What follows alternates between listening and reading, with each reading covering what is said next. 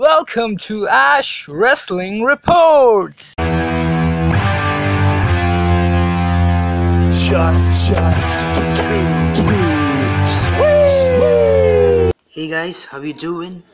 This is me, Ash, your host for Ash Wrestling Report, and we are on the road to Royal Rumble. Before that, we are on the road to Raw 25th Anniversary Show, which will be live on 22nd of January. Today's Raw started with Roman Reigns take, kicking off the show. Look, he was looking pleased after defeating Samoa Joe in a match when the odds were against Roman Reigns, and he successfully and he successfully defended his Intercontinental Championship. Roman Reigns gets interrupted by Jason Jordan, who in turn gets interrupted by Seth Rollins. Roman and Jordan got nothing but boos from the crowd. And Jason Jordan goes on about to say that they are the most dominant three man group in WWE right now. To which Finn Balor, Karl Anderson, and Luke Gallows walk out and dispute that claim.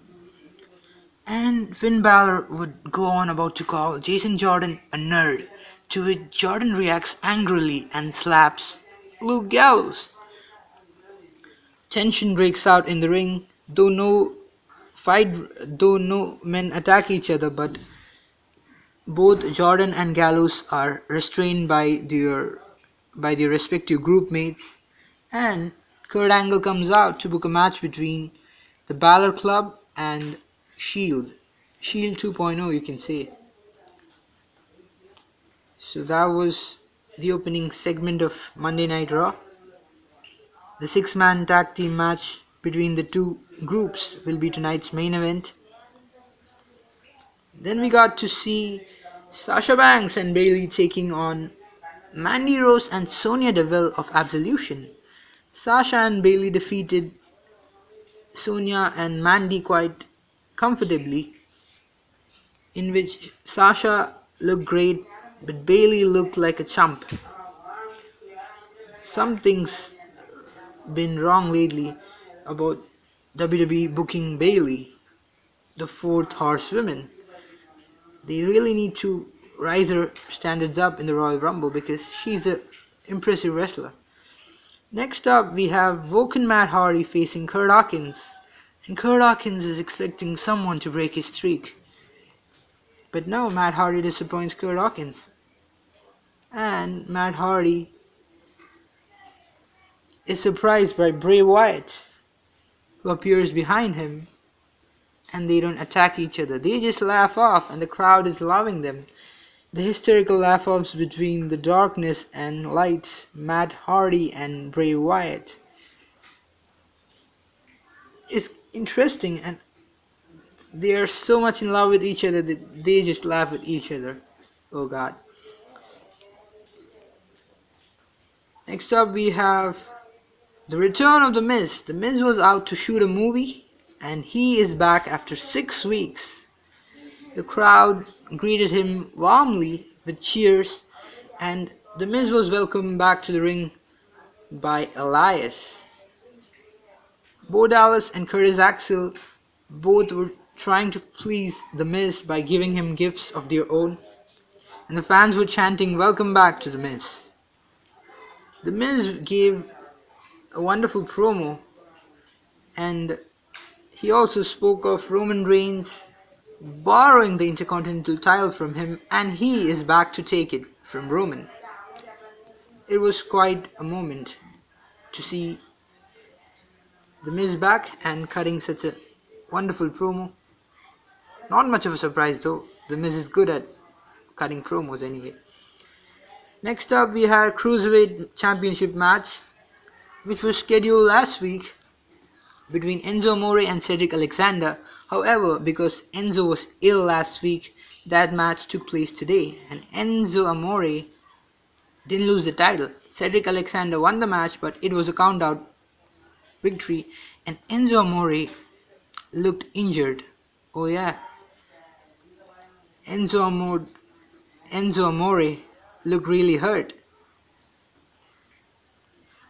Next up, we had Sheamus and Cesaro taking on Apollo Crews and Titus O'Neil, that is Titus Worldwide, with Dana Brooke on the ringside.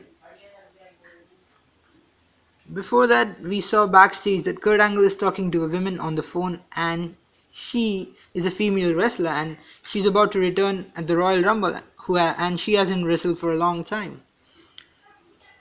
So it's a matter of surprise to predict who's it gonna be, and I think it's gonna be Trish Stratus, or it could even be Lita. Who knows? Stay tuned to Royal Rumble. Ha ha ha. So we see Sheamus and Cesaro the Bar taking on Apollo Crews and Titus O'Neil, and to everyone's shock, Titus O'Neil rolls Sheamus to get a three pin, three count, and they pin they've pinned the bar. Crews and O'Neil has pulled out a blinder, and they celebrate.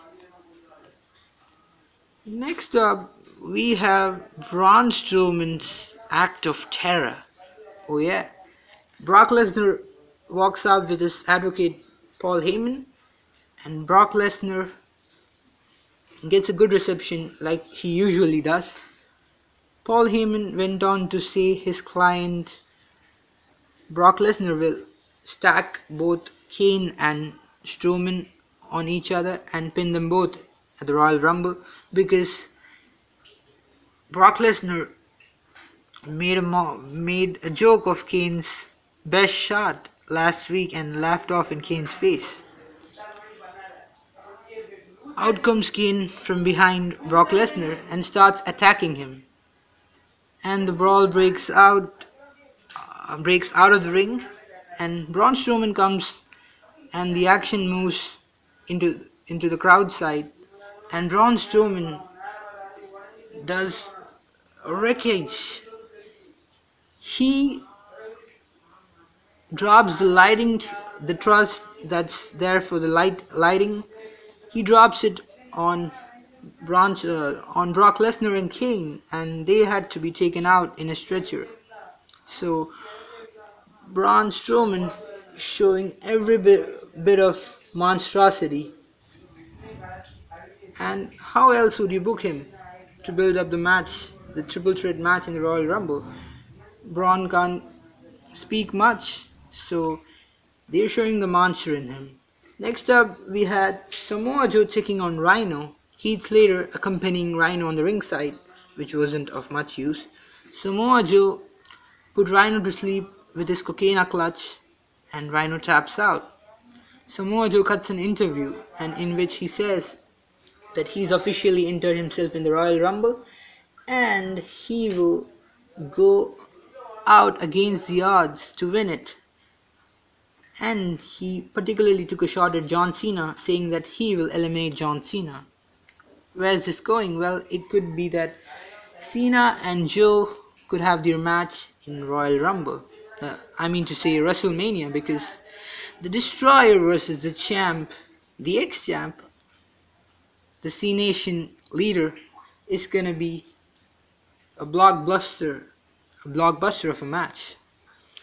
Next up, we have we see Nia Jax attacking Asuka inside the ring after uh, Nia Jax's friend Alexa Bliss